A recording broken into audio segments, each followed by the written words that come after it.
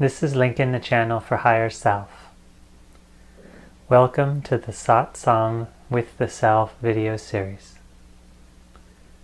In these videos, I channel information and energy from the Higher Self Universal Consciousness. Each and every one of us is part of a greater universal intelligence and field of energy.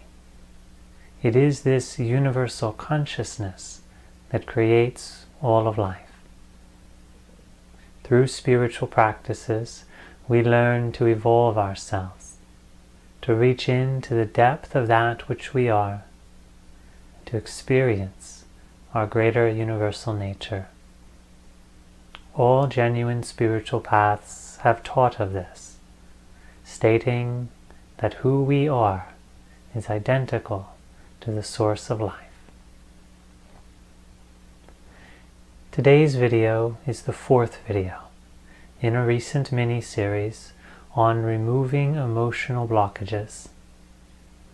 For these videos, I allow the higher self to bring through information, energy, and instruction to help you make positive growth and spiritual transformation in your life. I do not know what today's topic will be. I will simply surrender into this state of higher self-consciousness and allow it to come through. Enjoy.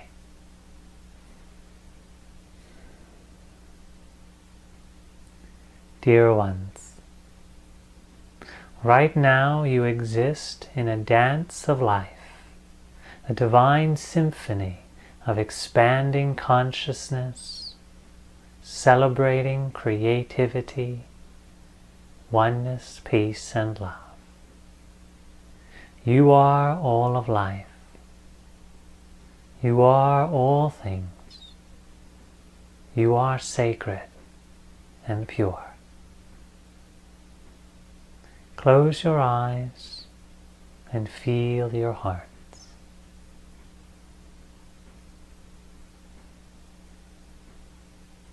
You, dear ones, have existing inside of yourselves a doorway of light and love. Here in your heart, you find the birthplace of your own personal consciousness as the light of creation. Feel your heart. Feel this light allow your consciousness to move towards it. This is the central spiritual practice. This is the discovery of who you are as the creative light of your reality. All the forms of this world, any dimension, any experience will arise within this light. The light transcends them all. The light has more importance than any of the ever-changing forms. Feel your heart. Awaken to this reality awaken to the light of your consciousness, the birthplace of you.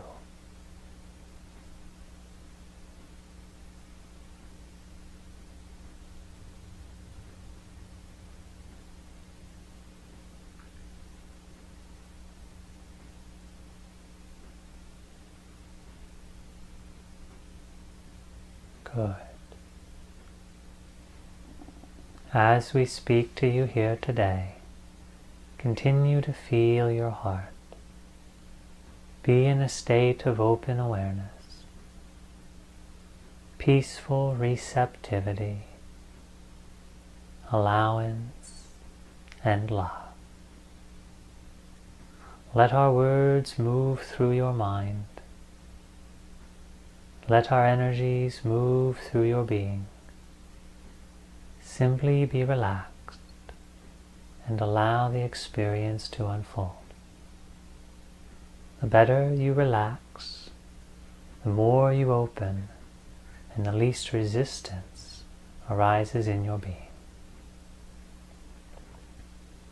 Now, right now, dear one, is your reality.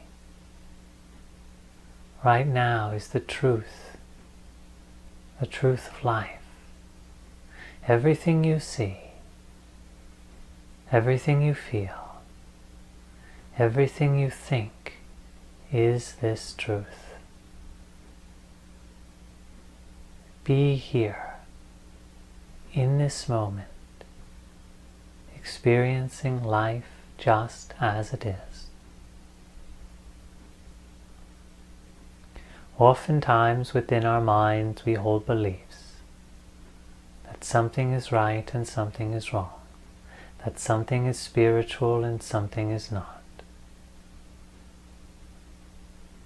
Oftentimes we hold within ourselves the idea of right and wrong, of good and bad, and this causes separation in ourselves. Understand, dear ones, that your mind is a fine instrument, a very subtle tool of perception. As you live within your human self, it is your mind that shapes your total existence. Look at the simple practice we've just led you upon. As you use your mind to focus within, you draw your consciousness out of this world and into yourself. The space of your awareness expands. Your emotions are felt as your own, and the energies of the world become distant to you. As you go deeper, the sounds and the sights, the tastes, the smells, all of the sensory activities will vanish, and your inner universe will become your full awareness. This choice, this process, this meditation began with your intention. Your intention is the primary creation within your mind. In today's video, dear ones, we will talk about the power you have to change your emotional experience and the importance that your intention holds for you. Many of you have approached spiritual education and learned of the practices of affirmations. They call it the law of attraction, they call it the law of manifestation, they call it the law of similarities. There are many terms that we can use to place upon the simple, most basic understanding of who you are as a human being. All ancient texts state that in the beginning there was a movement, a movement, a desire, an intention to create life. You have been created in the image of God, in the likeness of God, as a representation of the universal source. Your desire, your intention creates that first movement, that direction in life. You, dear one, are not alone in this universe. You are not the sole creator, not as a human self. Instead, you live as a piece of creation inside an entire universe that is guided by the source intelligence. Your body has desires, intentions built into it. These are the intentions for the prolonging of life, for survival, of yourself and of the species. And so your body desires to live longer and to allow the human race to live longer. In essence, all material forms within the entire universe are desiring creation and sustenance of life. And there is an external force acting upon us, upon the cells of our body, upon the atoms, and this is the force of death, the destructive force and so we are existing in a universal system of dynamic interplay in which there is life. the sustenance of life, and the energy of death. And together these interact with each other, creating the course of your reality. You, dear ones, are not creating death, not unless you intend it, of course. And your body is trying to create life in every moment. This is why those faced with disease heal. This is why those faced with the common cold heal. This is why your body desires to stand and move towards food, and to lie and move towards sleep. Your body's intelligence guides you to life, while a universal force, an external force to your body, works towards death. Death is not bad and wrong. Let us not fall into a judgment based upon the unknown, based upon what we don't understand, and based upon our fears. Yes, your body resists death. This is why your body fears death. What you call fear of death is just resistance to this external force of destruction. Death is not bad or wrong. Your body's intelligence guides you towards life, and so naturally there will be a resistance against death, for it is the counter force to your body's actions. Let us not fall into spiritual superiority. Let us not create imaginary beliefs fantasies of immortality and place them in a category of finding reality. Reality is what is happening now. Oftentimes in spiritual teachings, we project fantasy, hopes, wishes, fairy tale dreams upon that which is appearing right before our eyes. Let us see reality first. Then once we understand reality through our own experience, then we can push the boundaries of what is possible. Be mindful that you do not fill your mind with fantasies from words of people you do not know, about experiences you have not had. Live inside your life, for that is where you change it, and that is where you master it. Your emotions, dear ones, they have their own forces. The draw of oneness, the attraction between forms of life. Your emotions always draw you towards things. You want others to see you, to hear you, to know you. You want to understand others, learn information, feel connected. You want to have experiences in the natural world and feel the rush and sensation that comes through the oneness of forms. Your emotions desire attraction and union. That is simple. And when you feel, dear ones, when you feel a distancing, you do not enjoy it. When you feel a pushing away or a falling apart, you do not enjoy those sensations. In a way, your mind and emotions resist that separation and so, like the physical, there is an attractive force of emotion moving through you, guiding you to expanded states of knowledge and bliss, vibration and light. And there's a universal force of repulsion holding you back, presenting challenges and obstacles. It is through this interplay of attraction and repulsion that the emotional universe comes into being. Neither is right and wrong, neither is good and bad. Both are part of the reality of who you are, the truth. Let us not project fantasy that we will enter a state in which there is always oneness, that emotional unity. Yes, there is an experience of spiritual oneness, but that is outside and beyond the emotional dimension. If the emotional dimension ever reached oneness, there would only be pure white light, and all temporary experience would end in that location. And so, for the emotional universe to exist, for the astral universe to be, there must be this attraction and repulsion of energy.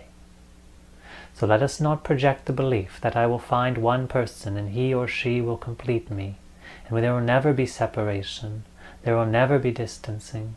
Let us not believe that I will find a perfect job and it will give me complete satisfaction till the end of my days. Let us not believe that there is anything in the emotional universe that will be one-sided and without an energy of repulsion. The two must exist for this universe to exist. In the mental dimension there is also this state. One is the lack thereof, the emptying out, and the other is the fullness. We can call them ignorance and knowledge. Your mind desires an expansion of knowledge, the form of information, those mental energies it gathers and desires to integrate into itself. Ignorance is the missing pieces or the forgetfulness, the falling away. And so there are aspects of creation and uncreation, aspects of attraction and repulsion in the mental dimension as well. We will call it knowledge and ignorance. The forms of the mental dimension being integrated within us and the emptiness in which they are not. The mind desires expansion, knowledge, wisdom of all things. And let us know that there will always be this interplay of space to move into, knowledge to discover, and the accumulation of mental energies as our expression. It is the personal self that is created within this dynamic, in which we form an idea of who we are, in which we collect and integrate information based upon our experiences. So we are our past. We are what we remember. We are what we do and what we create. We are our perception of this moment. And we seek more. We seek to know the emptiness. We seek to know the forms. We seek to understand reality. On and on, our sense of ourself, our concept of ourself, our reality of our individual self is built and maintained.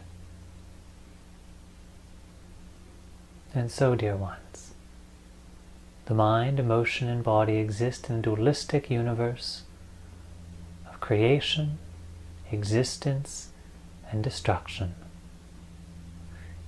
Equal and opposite forces acting upon each other to create a dance of life. Outside of this is the oneness, a oneness that has never had an opposite and never will a oneness that has no battle of form. Outside of this is your spiritual consciousness, the emptiness of perception. It is pure awareness, pure light, pure oneness, because it has no opposite. Even the forms of this universe, they are not its opposite, for the awareness perceives emptiness and form, and both of those exist in the universes through which it perceives. The spiritual consciousness is truly beyond both, existing as something beyond classification and beyond description, because that is what is creating life. That is what is creating this.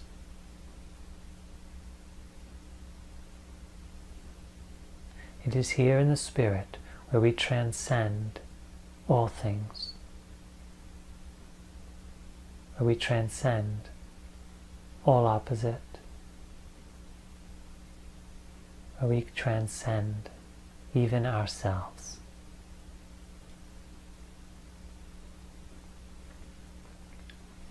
You are the flow of this consciousness that is aware and intelligent, knowing its experience, being life.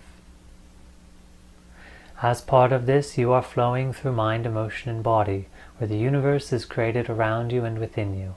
It is one with you during this moment.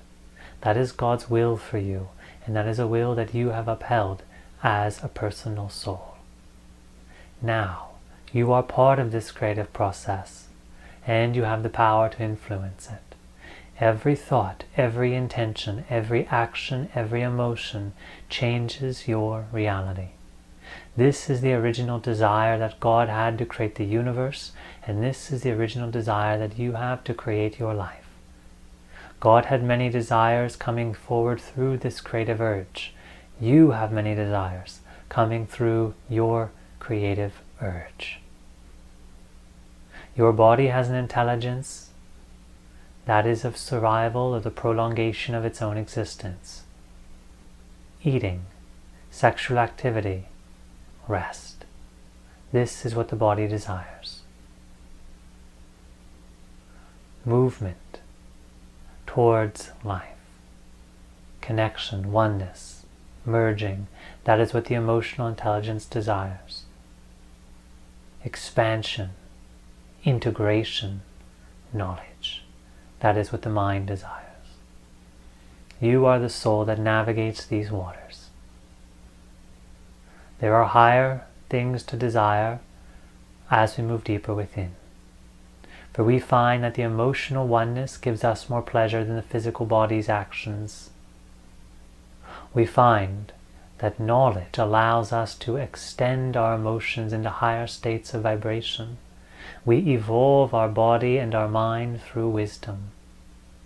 The deeper we go, the more subtle we go, the more powerful and important the desires we find. And so there are temporary short-term desires. This is food, sexual reproduction and rest.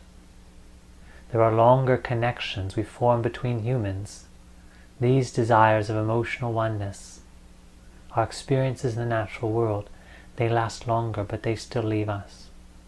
The mental experiences, they stay with us the longest, as knowledge builds upon knowledge and is rarely lost, and as knowledge of this lifetime is carried forward in your souls. In your lives, dear ones, you have choices, and the choices come through all of your thoughts. The thoughts change emotion, change the body's action, and change your world your intention, that is the deepest desire in your mind. And that is where the most powerful change occurs.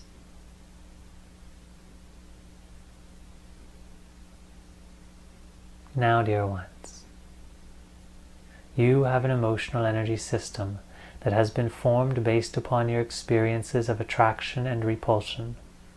There are things that you've learned in your mind give you pleasure for you experience attraction through them. And there are things you've learned in your mind that give you repulsion, and so you've experienced aversion, resistance in those areas. This has built a framework, a definition of personal reality for you. Your mind holds the concept based upon your memory of what is. Your mind also has the power to re rework this concept any way you wish. Think, dear ones, of this. You have had a belief in your mind that you do not like the color purple, for in the past you wore purple and you were criticized heavily in your school years. You were pointed at, made fun of, mocked and ridiculed because of the purple you wore. So now as an adult you do not wear purple, you refuse the color. When out in public places your eyes avert this color, you do not enjoy it. It is simply a color like any others. It has an emotional quality of expression like any vibration does. Why does it need to be separated from God? Why do you need to feel an aversion through yourself? So we can change this. And we can have you look upon the color purple and look for its beauty. Look at the purple within the flowers. Look at the purple within the setting sunlit sky. Look for the purple within your skin. Look for the purple inside your veins. Look for the purple that's giving you life through all of your senses and through your body. Look and see how this is part of yourself, and God's universe. And understand that the beliefs held by others need not create the beliefs held by you. See beauty in this color, and your aversion will melt away. Beauty is attraction, love, care, compassion, honoring, respect. These are all emotional qualities of an attractive force. Aversion, resistance, denial, these keep us feeling separate. And so if we have within our mind a belief of aversion, then we are limiting the oneness that our emotions desire to have. It is, dear one, like starving your body of food. It is like withholding sleep from your body.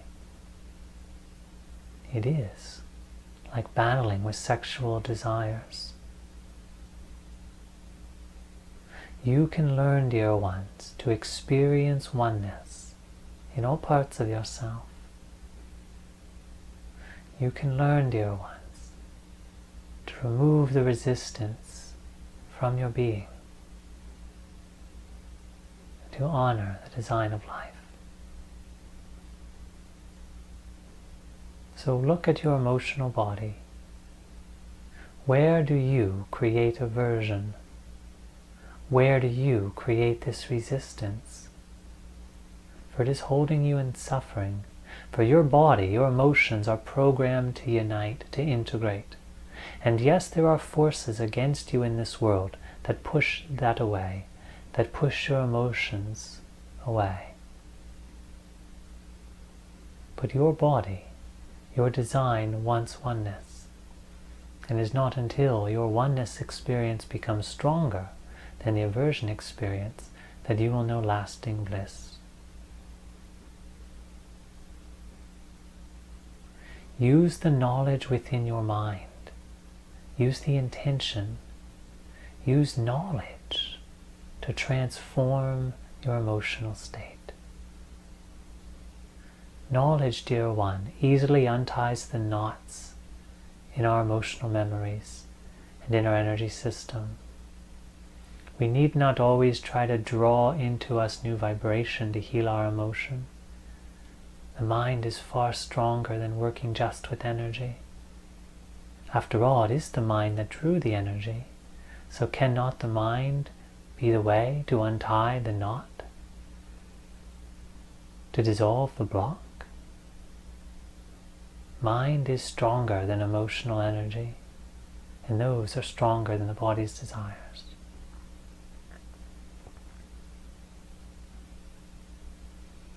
Your intention shapes your reality more than anything else.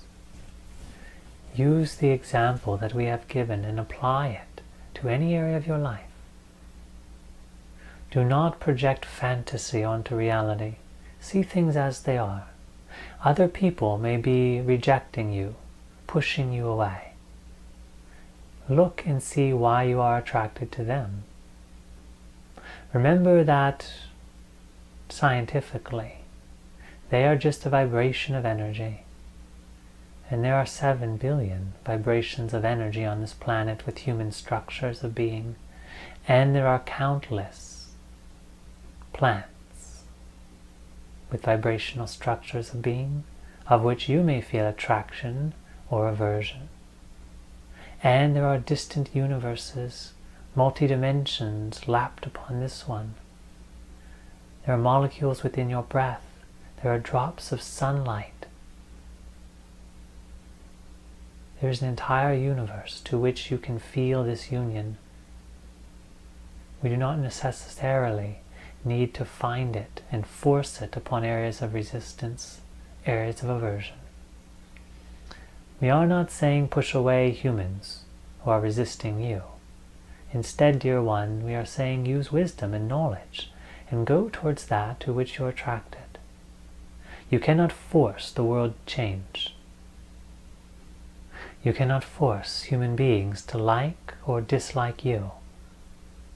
Find where the natural attraction already exists, and you will find a greater harmony. For many of you in your lives are living through conditioned beliefs that I should desire a woman or a man who fits these characteristics. They have X amount of dollars to provide security. They have certain look characteristics to make me feel attractive. They offer me certain qualities based upon what I have been told I should seek and I should get. Look inside yourself instead and see where the attraction already is. Here you will find the deeper resonance with those friends, family, and even loved ones who are connected to you. And when there is attraction, the relationships will be peaceful. The relationships will be joyous. For there will be a unity already established by the scientific order of vibration. And we need not force it upon a universe based upon incorrect information and social programs. Think for yourself. Study reality. What your being is attracted to is what is for you right now. And yes, as you expand and grow, evolve and change, new things will come into you, and that is part of the interplay of life. Look at your body's needs for food, dear ones. Your bodies will tell you the nutrition they need. Stand in front of a grocery store of live fruits and vegetables, grains, nuts, seeds, and animal product, and you'll feel your body drawing you towards that which it needs for its nutrition. Yet in your mind you may remember an advertisement, a magazine, a website read, you should eat this, you should follow this diet. And your mind of social programming overrides your body's natural wisdom. And you don't feed your body with what your body is asking for based upon its attraction, its intelligence. Instead, you do what someone told you. Someone who wanted to sell you a book, sell you an idea, sell you themselves. Your body knows what it needs. It knows when it is time to sleep. You do not need to listen to the scientist to tell you it should be this number of hours, this time, this position. Listen to your body and your head will face the proper direction. You will sleep at the proper way. You will sleep for the proper times, and you will fall asleep in the proper rhythms of your body and this earth. Live in balance by opening up to life and studying the truth that's already there. This is the scientific way of living your life, dear ones, in which you become the studier, you become the observer, the student, and the master. Life is your teacher, and life will take you to perfection. So look, dear ones, at what is already there. Look at what your body is intending to merge with. Look at what your emotions and your mind are intending to unite with. This is life guiding you. Life guiding you. Now, dear ones, as we have said earlier, the mind is stronger than the emotions, and these are stronger than the body. A body unguided by emotions and mind will be a body living only for itself. You see, our emotions extend us into other beings. When we feel oneness with other people, we feel their emotions as well. A person incapable of feeling another's emotions will act with body's selfish desires, and they will abuse relationships. They will abuse sexual experience. They will abuse food consumption they will abuse sleep. The emotional oneness that we feel with others helps to regulate the body. In addition, the knowledge that we learn directly from life helps to regulate the body. The mind also regulates the emotions. It evolves them in understanding. Emotional attraction can lead us down the same road again and again. It can keep us held in relationships that create our own suffering knowledge guides the emotions to evolve. The body and emotions are evolved through the mind. It is the spirit that guides the mind. Eventually we understand that we can rest in peace and oneness, that we can perceive and directly experience something beyond temporal reality. The Spirit educates the mind of what is beyond it, and in the Spirit we find our peace. All deeper systems guide the outer to bring it into harmonization, unity, order, and growth. Let yourselves be guided. Let yourselves be awakened. So, dear ones, to summarize this video message very quickly, you are spiritual consciousness inside of a universe. You have intention moving through you, and the universe has intention built within it. Your system of mind, body, and emotion desires attraction, expansion, continuation. And the universe poses these opposites. This creates the dance of life. Learn to listen to the intentions in mind, body, and emotion, to let them guide your life into a state of greater harmony and less conflict and suffering. Trust your own experience and your own inner intelligence to remove blocks of resistance and to move into states of open awareness, fluidity, and union. Use your mind to understand your experience and shift you into greater states of oneness. As you live in the state of oneness and peace, blockages are removed from your body's health, your emotions' health, and your mind. Spirit guides this process Spirit upholds this process. And Spirit always, always is beyond it. Let yourself be a student of life. Learn. Learn the lessons that are already being taught to you. The path is the study of yourself. Others can help, but don't let them overpower the wisdom you have within. Many blessings. Much love. Namaste.